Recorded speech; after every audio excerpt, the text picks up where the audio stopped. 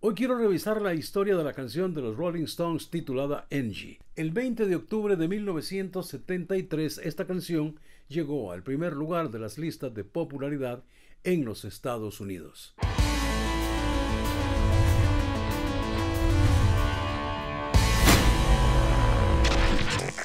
Revisemos un poco más los detalles que encierran los Rolling Stones, Angie y por supuesto el año de su producción, 1973. La canción es escrita por Jagger y la música por Keith Richard, quien en diferentes oportunidades dijo que la canción estaba inspirada en su hija, o por lo menos él le puso el nombre de Angie. Muchos especulan que la canción Jagger la escribió para contentar a Angela Burnett por el desabrupto que había tenido con su esposo mientras ella andaba de gira.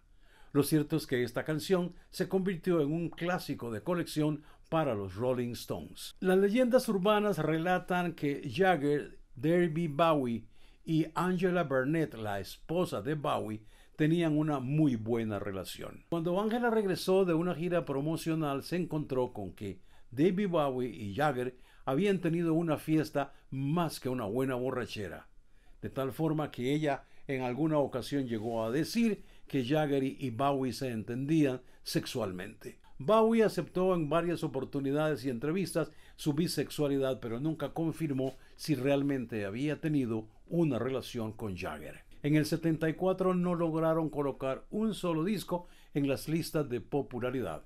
De las pocas cosas buenas que le dejó el 7-4 a los Stones fue el hacer oficial ya a Ron Wood como parte de los Rolling Stones, ya que Dick Taylor había abandonado el grupo para emprender una carrera en solitario. Muchos aspectos influyen en la carrera de un grupo y hay canciones que se convierten en piezas de colección de acuerdo a la historia detrás de ellas por la composición y el arreglo apenas una parte de la historia de Angie de los Rolling Stones.